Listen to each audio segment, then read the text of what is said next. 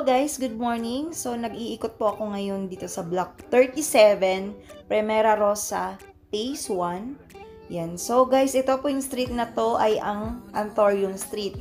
So makikita nyo po guys kung sino po yung mga homeowners ng block 37. Please cooperate guys kasi ipapakita ko sa inyo kung gaano po kasukal yung damo na mas mataas pa po dun sa bubungan ng bahay ninyo. Which is, hindi po talaga siya dapat ganun kasi dapat malinis po yung area natin. So guys, kung sino po yung may nagmamay-ari ng mga bahay dito, mga kalapit bahay ko, mag-message lang po kayo guys para po sakaling magpalinis kayo, magpadamo ng kanyang-kanyang mga units. Ayan, matutulungan po namin kayo guys. Sa ngayon po, ang maitutulong ko, ko lang po is yung pathway or yung gutter So, ititrim ko lang po yung mga yan para po medyo mas malinis na rin pong tingnan. Yan, guys. Sobrang taas po ng damo dito. Kasi medyo nasa dulo na rin po tayo ng uh, phase 1. As is po na apat na bahay pa lang po yung may nakatira dito.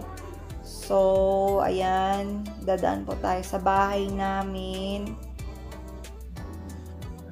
So, guys, yan, meron tayong uh, end lot ng 37. So, yan po yun.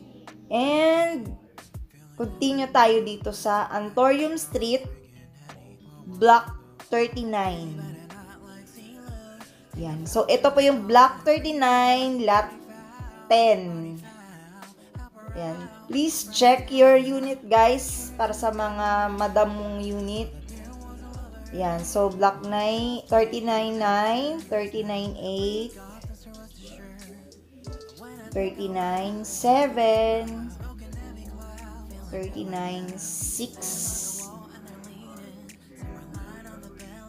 and 39.5. Yan. So, itong street na to, guys, yan. So, backward. Balik tayo, guys, ano babalik tayo sa Block 37. Medyo magulo pero intindihin nyo na lang yung sinasabi ko guys. Ayan. So ito po yung nasa gilid po tayo kasi ng subdivision. So may uh, bakod po tayo. Tapat natin is bakod. Ayan. So block 37 po ulit tayo. Medyo mabagal lang yung uh, pagkuha ko ng video para mas makita po Unlike sa, pipicturean ko siya lahat-lahat ng mga units. Ito, medyo slow mo lang po yung videos. So, naka-indicate na rin po dyan guys kung ano yung mga lot. Pag nakita nyo to guys, PM nyo po ako. Kasi ang hirap pagka ganitong unit, tas madadatnan nyo pag visit nyo or kung na-TO na ba siya. Ayan ang hirap talaga kasi sobrang sukal ng damo. Ayan. So, hindi natin maiiwasan guys na may mga ahas talaga. Si tatay na kapitbahay ko, nakadalawang ahas na siya na, na napatay niya.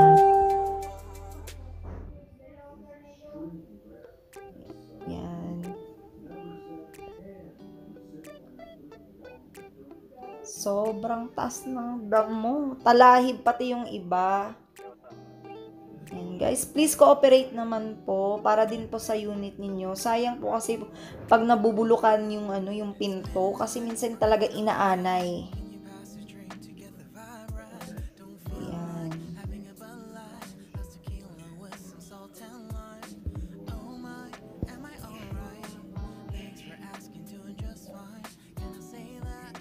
Yan, sobrang taas. O, di ba? Naka-focus pa.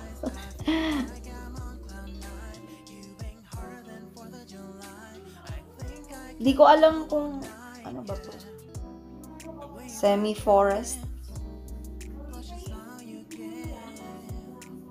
Forest. O, di ba? Pinasok na talaga siya ng mga damo.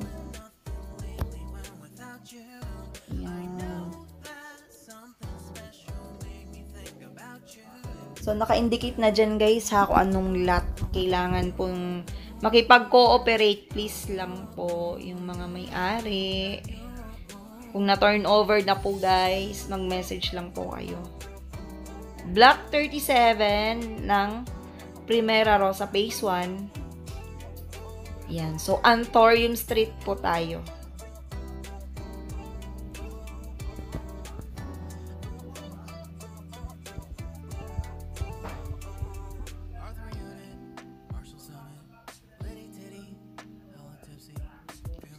So guys, uh, thank you for watching. Yan. Please subscribe guys sa mga hindi pa po nakakapag-subscribe ha. Para lang po ma-update nyo kung ano po yung mga nangyayari or kailangan pong uh, mga information po na kailangan nyo ding malaman. Kasi mas maganda kung may alam po kayo kahit hindi pa po kayo nakatira sa subdivision. Antorium Street. Thank you. Bye.